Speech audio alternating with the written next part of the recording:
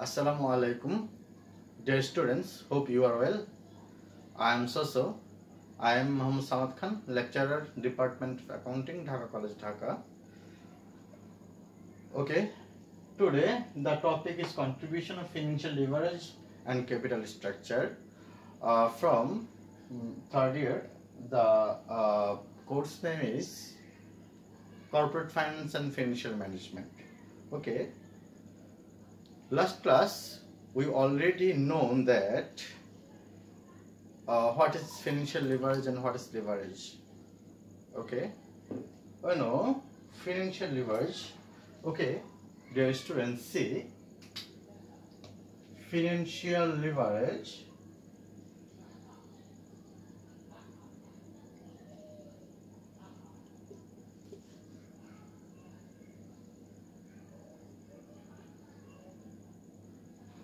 is assumed to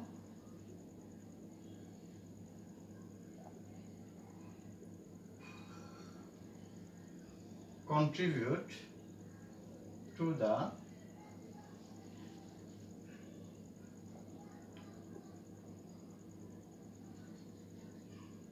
enhancement of return on equity which is called ROE. Okay, financial leverage is assumed to contribute to the enhancement of return on equity and magnification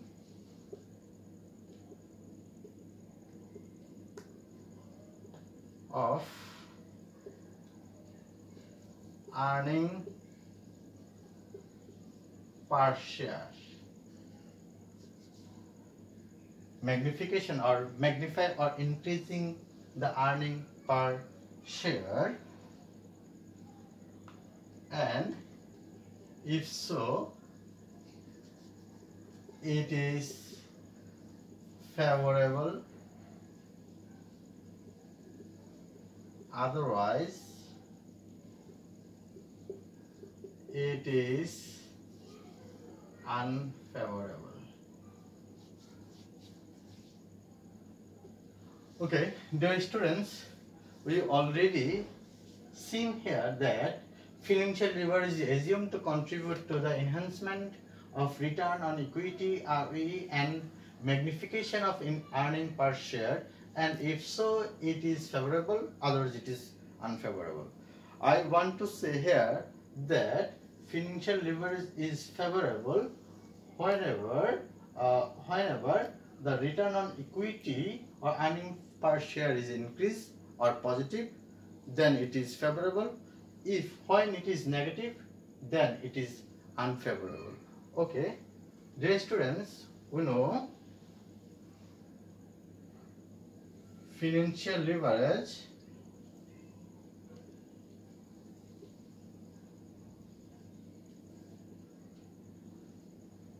is debt or bond okay? That has cost. Financial leverage is debt or bond? That has cost. Okay. Interest of bond or debt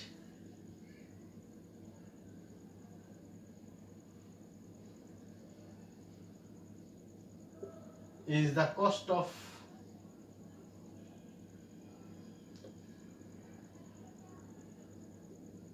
financial leverage.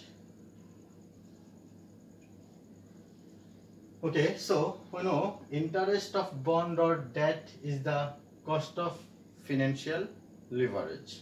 Okay we know that interest cost we also know that interest cost is tax deductible expense. We know that interest cost is the tax deductible expense. Okay here that usually that actually less costly.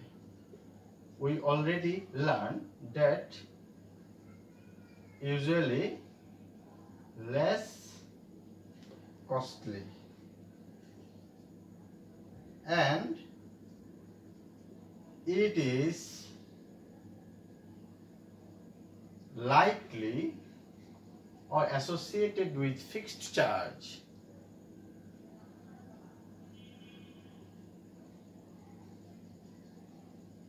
Fixed charge or fixed coupon rate. Okay? Fixed charge or fixed coupon rate. Okay. Tax authority accept the interest cost. Tax authority accept it or accept the interest cost as the charge against profit charge against profit. Okay? It is uh, tax authority charge the interest uh, cost against the profit. Okay? So I want to say that uh, interest cost interest cost actually uh, cheaper or interest or cheapest sometimes cheapest is the source. Is the source easiest source for a corporation. Easiest source for a corporation. Okay please see cheaper or sometimes cheapest.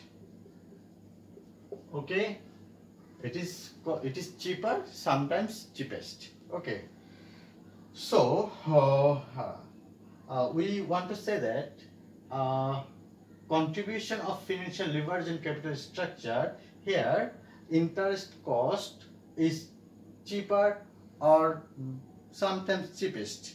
Whenever interest cost is highest, then actually uh, it is totally unfavorable. On that time, uh, that is to occur to contribute or or uh, the debt don't contribute to the capital structure. Okay, so here uh, we know that interest charge is fixed charge. Interest charge is fixed charge. So uh, so interest cost maybe make a risk make a financial risk make a financial risk to a firm. Okay, so we say that sometimes, oh, oh, although interest cost is fixed charge cost, so that maybe it make a financial risk to a firm. Okay. Okay. XYZ, the students, here uh, write I, I write down that XYZ Limited plan to use business capital of Taka 5 lakh with equity share capital of Taka 3 lakh Taka okay of Taka 100 share 100 per share and debt capital of Taka 2 lakh of 8% interest okay then tax rate is 50% accounts payable 1 lakh and then return on asset is 8%. We should determine whether uh, the uh, financial leverage is uh, favorable or unfavorable. Okay, dear students, uh, we prove that the condition is favorable or unfavorable. Okay. Okay. dear students, we know that we already learned or known that KD, say KD equal interest into 1 minus tax rate, okay? In the previous class, we already, we learned, in the previous class, we learned KD equal interest into 1 minus tax rate, okay? Please, here, uh, interest rate is 8%, okay? So 8% into 1 minus tax rate, uh, I mean 50%, okay? Tax rate 50%. 50% I mean 0.5. So 8% into 1 minus 0.5. Okay, 8% into 1 minus 0.5 equal 4%. So we try this in calculator. 1 minus 0.5 into 8 equal 4 okay? So 4 percent. Okay in this question we see that or given that total asset equal total assets is 6 lakh okay? Interest KD 2 lakh sorry it is that 2 lakh and cost of debt equal 8 percent Okay, so and return on asset ROA equal 8%. Okay, so given that total asset 6 lakh, debt 2 lakh and KD 8% and ROA return on asset equal 8%. Okay.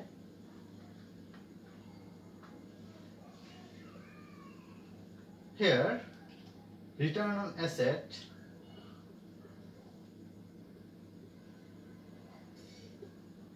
equals say 8% okay return on asset 8% less return on debt. Return on debt 8% okay less tax shield 50% okay? Tax shield equal 50% I mean 4% some times ago I already uh, seen the here okay 4% 8% deducted 4 equal 4%. So 8 to 4 equal 4%. Okay. Benefits, it is called benefits of debt for equity holders. Okay. Benefits of debt benefits of debt for equity holders. Okay.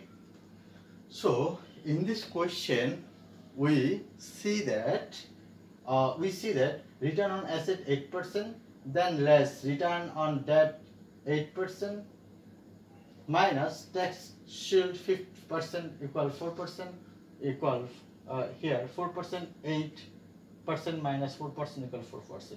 So in above the question we already seen that uh, the question the proposal is favorable the proposal is favorable to this firm to XYZ Limited. Okay, okay. I think that if I use if I use say if I use 18% instead of 8% okay then what will be happen? We see that. So return on asset ROA equal 8% and then less less return on debt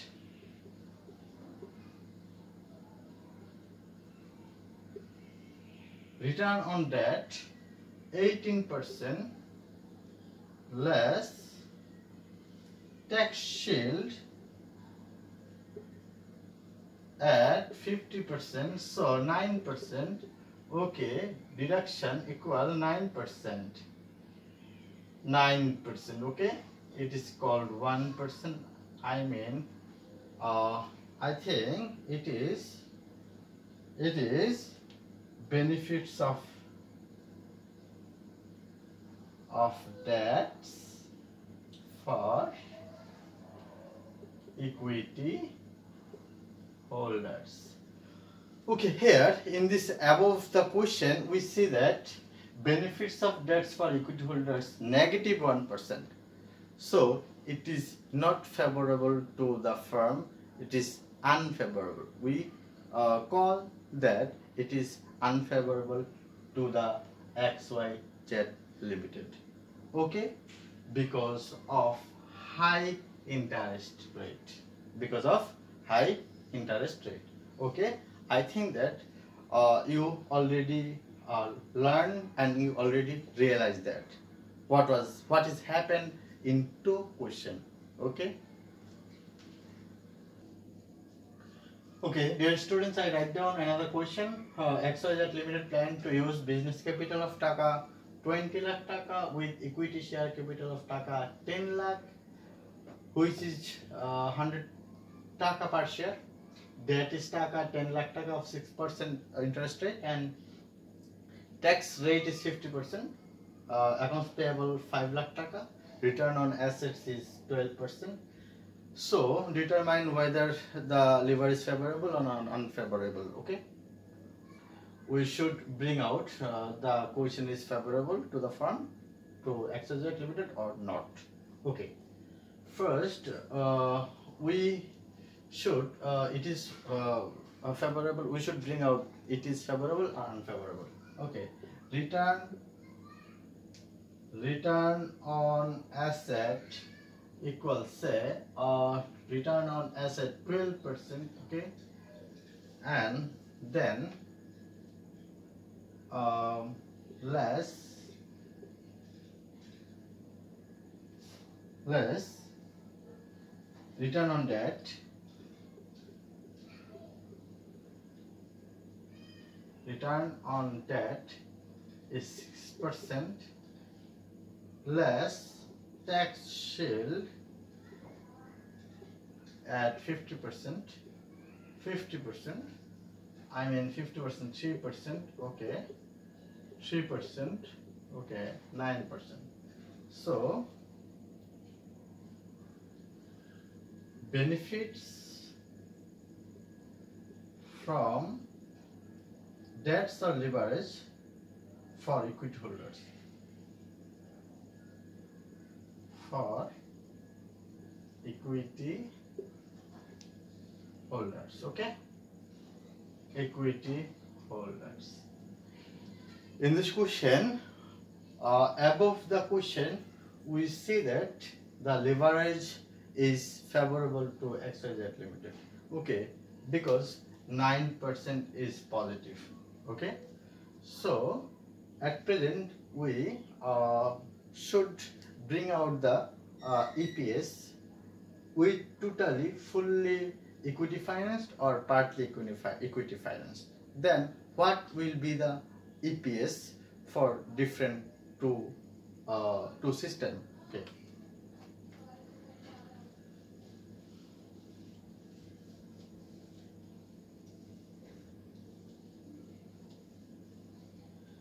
Okay I think it is one format and it is another format okay? We see that total assets is I mean total assets here 20 lakh and here 5 lakh. I think so total asset is 25 lakh. Okay total assets is 25 lakh. Return on asset is 12 percent. Return on asset equal 12 percent. So we should bring out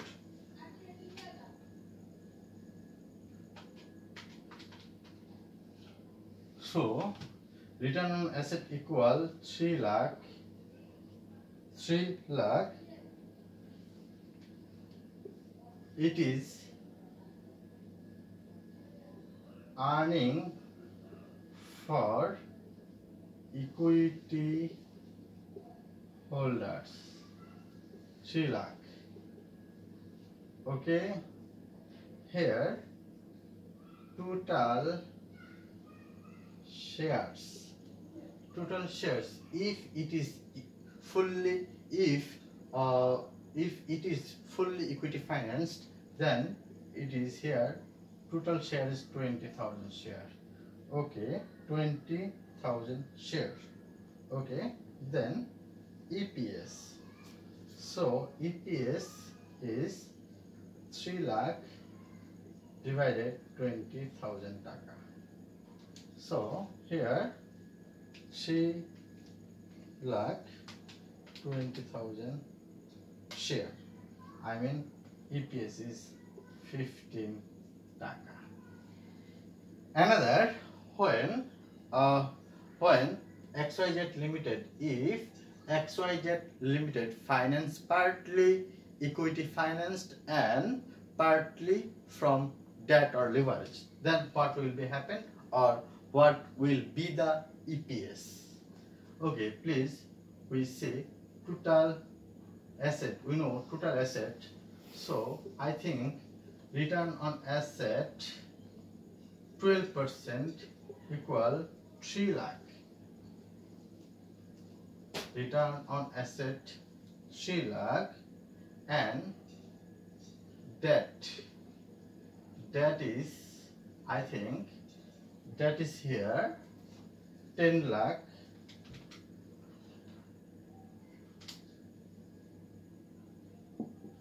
into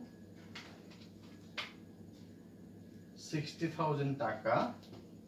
That is 60,000 taka minus tax shield is 50% I mean 30,000 taka okay? So 30,000 taka. So here 2 lakh 70,000 taka okay it is uh, we we say that it is earning for equity holders. Okay so EPS is EPS uh, is 2 lakh 70,000 taka sorry here number of share